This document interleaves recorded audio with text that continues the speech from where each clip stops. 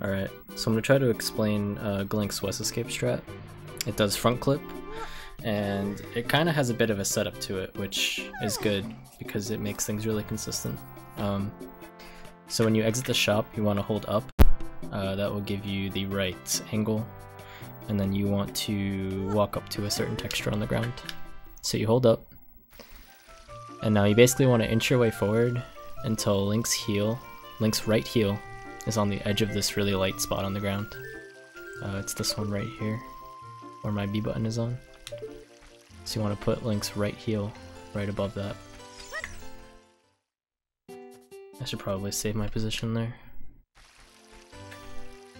So once you have this, you want to take your stick out, uh, and then you're going to side hop twice, and on the second side hop, there's one frame to jump slash.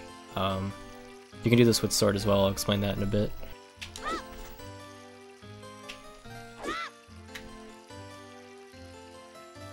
So this is the frame right here. The first frame, he like goes away from the stepping stone. So you're just gonna jump slash and hold ESS. Now once you get the wess, uh, you want to keep holding target so that you keep this angle.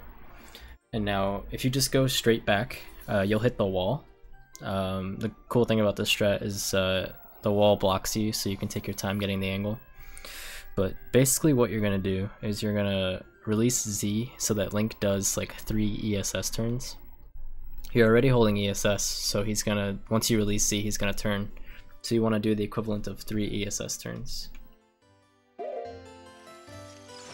So like, you could do the turns right now and not even touch the wall, and that's really fast. Uh, but if you want, you can let yourself hit the wall and then give yourself time. So, I'm gonna hit the wall, one, two, and that was three actually. The way that I know that that was the right angle is I'm barely coming past the wall. Like I'm just gonna slip right by it. And if I just let Link go, I'll go right, like head on to Pokey. Like that.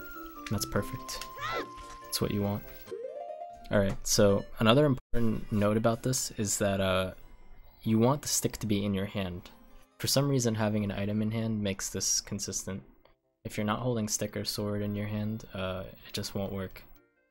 So you want to take stick out at any time. Sword is a little more complicated, I'll explain that in a minute. But you're just going to take stick out at any time before you talk. And what you're going to do is you're going to do the three ESS turns, so you come right at Pokey.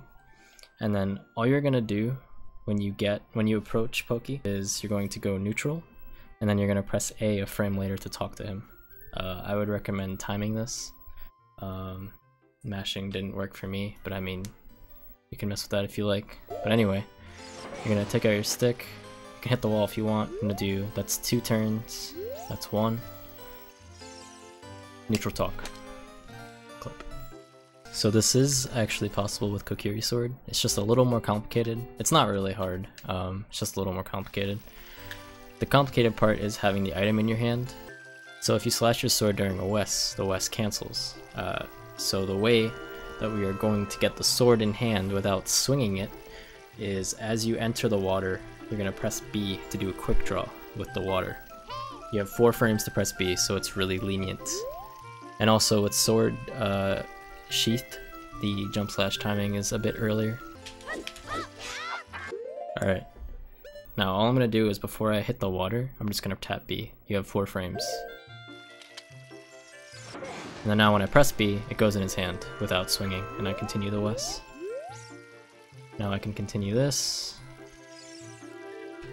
and then clip.